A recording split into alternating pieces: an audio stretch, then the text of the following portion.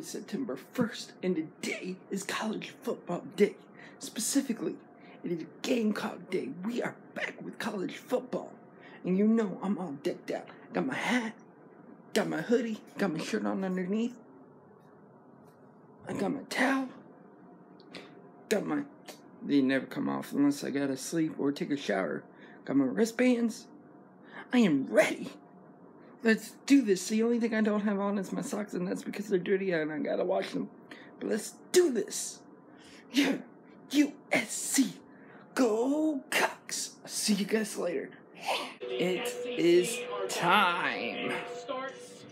Carolina football. South Carolina versus Coastal Carolina. Oh, come on, guys.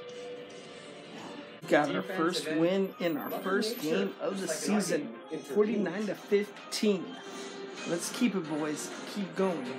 USC go Cocks. Now it's time to be all in. Yeah. I'm home. And all in was an awesome pay per view.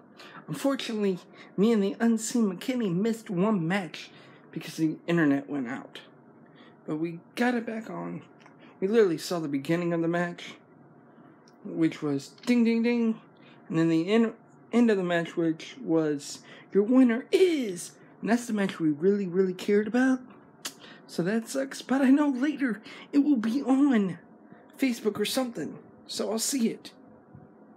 And, well, I know the results, but I want to see the match anyway. That, and, like I said, the Carolina game was so awesome. And to top that all off, I sent a tweet out to the dude who is my main man this year. And he favorited it. And made it, retweeted it. So that was awesome. Thank you for that. You know who you are.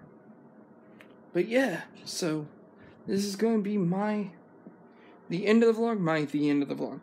The end of the vlog, and I'll see you guys in the morning.